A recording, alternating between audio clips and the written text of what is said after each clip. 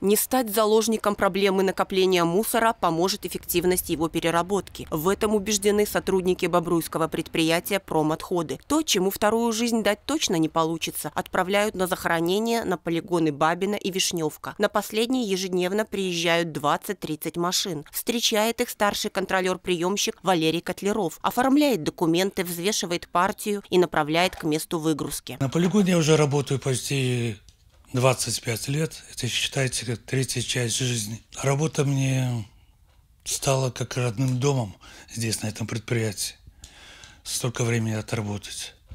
Коллектив чудесный. Предприятие отмечает 25-летний юбилей. Его специализация – захоронение промышленных и твердых коммунальных отходов, а таковых более тысячи видов. Только на полигон Вишневка в месяц поступает от полутора до трех тысяч тонн. За четверть века 900 тысяч тонн бесполезного мусора различной категории опасности. Производственная мощность полигона 200 тысяч тонн в год, но с годами э, производственная мощность падает в связи с оптимизацией отходов и сортировкой на предприятиях непосредственно отходов. На данный момент производственная мощность составляет порядка 18 тысяч э, тонн в год.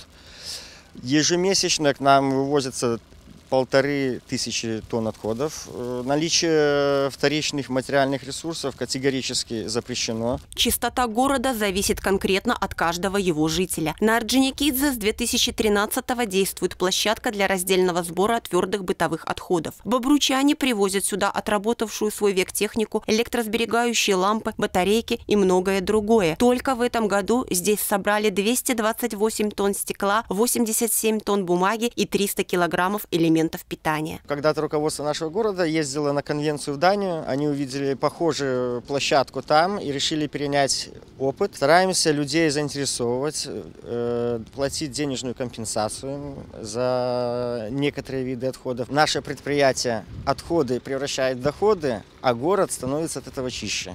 За 9 лет благодаря площадке собрано 925 тонн макулатуры, 1413 стекла, 66 пластика, 53 резины. Кроме того, 4 тонны батареек и почти 44 тысячи штук люминесцентных трубок. Сортировка отходов осуществляется и на полигоне Бабина, а затем вторичные материальные ресурсы поступают на мусороперерабатывающие заводы и обретают вторую жизнь. Есть прибыль и есть новое направление, которое мы будем развивать, чтобы предприятие работало еще лучше и стабильнее. В частности, мы развиваем сейчас направление переработки промышленных отходов, таких как отходы бетона, отходы кирпича, которые перерабатываются во вторичный щебень, который используется в дальнейшем строительстве и благоустройстве. Хотелось бы поздравить весь коллектив УКПП «Промотходы» с юбилеем предприятия, пожелать счастья, здоровья, благополучия и успехов в работе.